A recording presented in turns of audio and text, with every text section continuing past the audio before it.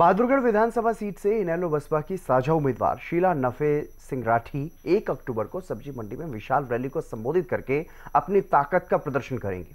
शीला नफे राठी को मज़बूत करने के लिए इनेलो और बसपा के बड़े नेता भी एक अक्टूबर को बहादुरगढ़ आ रहे हैं। वहीं रैली का न्योता देने के लिए शीला नफे राठी लोगों के बीच जा रही हैं और उनसे वोट की अपील कर रही हैं। इस बीच शीला राठी ने मेट्रो स्टेशन से लेकर के शहर के रेलवे रोड और नाहरा नाहरी रोड पर। व्यापारियों से भी मुलाकात की, वोट की अपील उनसे की, जहाँ लोगों ने शीला राठी का फूल मालाओं के साथ जोरदार स्वागत किया।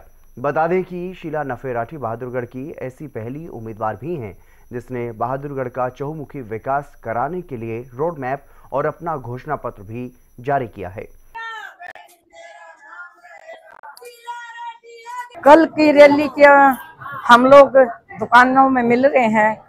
और सबको कल 11 बजे का निमंत्रण दे रहे हैं कि ज़्यादा से ज़्यादा संख्या में मेरी माताएँ बहनें पहुँचे और मेरे मेरे बुज़ुर्ग नौजवान बच्चे और जाके अपने नेताओं के विचार सुने और जिस तरह का शहर का हालात है उसकी भी हम लोग अपनी बातें भी रखेंगे और एक अन्याय के खिलाफ न्याय की लड़ाई है वो भी सबके सामने हम पेश करेंगे।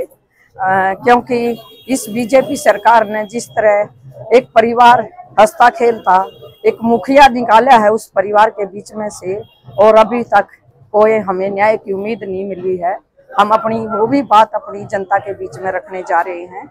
इनकी डिमांड है, जैसे पानी की समस्या है, और बाथरूमों की समस्या है मेन बाजारों में, और जी, सुरक्षा की समस्या है।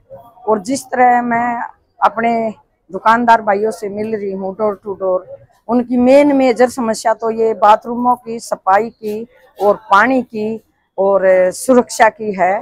और उस पर अगर ये हम लोग हमारा को आशीर्वाद पूरा पूरा देंगे तो वो समस्या इनकी बहुत ही जल्द खत्म हो जाएगी। ये हमारा अपने बाज़ार से और अपने शहर से एक अपना, हमारा मैन्युफैक्चर में अपना वादा है।